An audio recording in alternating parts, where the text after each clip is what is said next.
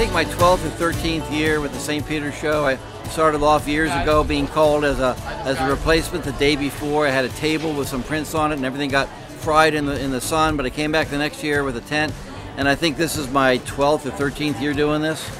I've been doing this for probably about 25 years. It's been a long time. The, the people are just delightful to interact with, and uh, so many have become clients over many years, and they still come back and buy paintings from me. Everybody seems to stop by this show. Everybody I've known for years stops by, says hello. I get to know new people. I get to meet photographers who are interested in photography. We talk shop a little bit.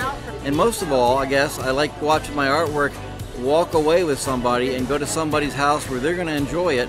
And I know that my children, my photographs, are actually going to somebody's house where they're going to appreciate the coast the way I do. This art show is one of my favorite ones. There are a lot of reasons. One, the, the folks from the church are so great to work with. They're so supportive. It's run really well from an artist perspective. It's a pleasure to be here. The crowd that comes through is very supportive of the arts, um, very cheerful, very happy people trying to, to fill their day with something very creative.